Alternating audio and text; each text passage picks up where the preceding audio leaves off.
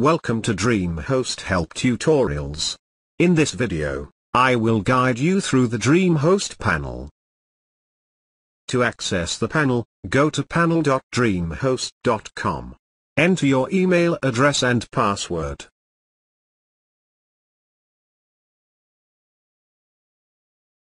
Click on Login button.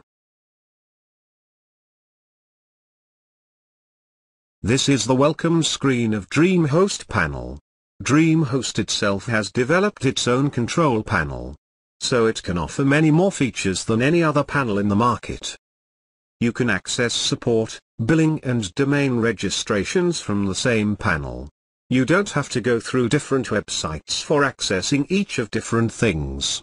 That's the beauty of DreamHost panel. Each feature of DreamHost panel is accessible from the main menu of panel. DreamHost has divided all features in different categories. I will give you a brief information about each category. I can't show you full details about each feature in this introduction video. We will have each video dedicated to each feature. Let's check each feature one by one. First category is DreamHost. Here you can access Welcome Screen, cPanel Importer, Rewards section, Web Panel API, Backup, Site of the Month, Green Hosting, DreamHost Shop, Suggestions, Donations, Partner Offers, Charity and Gift Cards. Second category is Domains. From here, you can manage domain, register domain, transfer domain, host a secure website, remap subdirectory, access anonymous FTP account and set up proxy server. Next category is mail. From here, you can manage mail, webmail, MX records for Gmail, announcement list, anti-spam filter, discussion list, message filter and autoresponder. Next category is goodies. From here, you can manage MySQL database, one-click installs, Subversion, cron jobs, Amazon CloudFront, Flash Media, Media Streaming, Jabber IM, HT Access, BlockSpider, Google AdWords Coupon and Chartbeat Analytics. Next is e-commerce. You can access Cafe Commerce from here. Next category is users.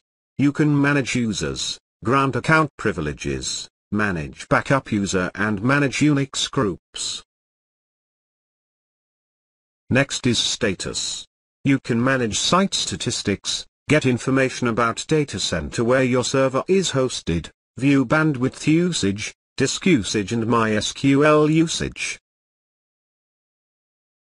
Next is VPS. Here you can manage VPS resources, enable VPS service, configure VPS server, reboot VPS server, manage admin users and SSH keys for VPS users.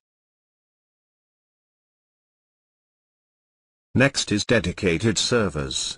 You can manage dedicated account, admin users and SSH keys for admin users from here.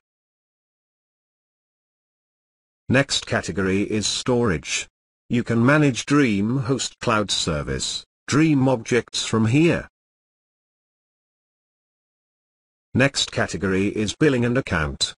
You can manage your DreamHost account, make payment, view invoices, view account list and security setting from here. Final category is support. Here you can contact support team for any of your question. You can also view support history from here. That's all for DreamHost panel. I hope you enjoyed the video. Thanks for watching.